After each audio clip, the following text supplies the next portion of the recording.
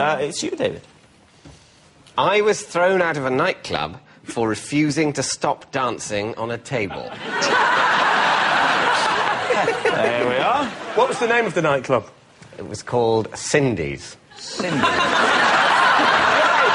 This is taking on a whole new. David couldn't think of a name and went, think of your dolls. Um, Why were you on the table? What was the occasion? It was just there were just a group of us went to this nightclub, uh, you know, on a Saturday night, I think, and got very pissed. When they said, please stop, Yeah. what did you say back? What- Hammer time.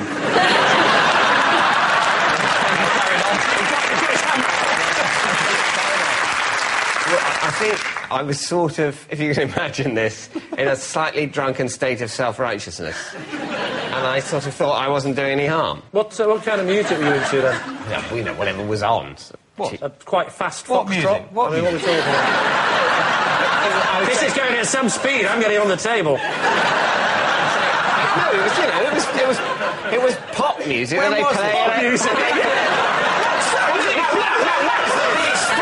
Something from the hit parade. No, no, no, no, no. The expression pop music is totally legitimate. It is not in the same category as talking about the hit parade. You can say pop music without turning to tweed.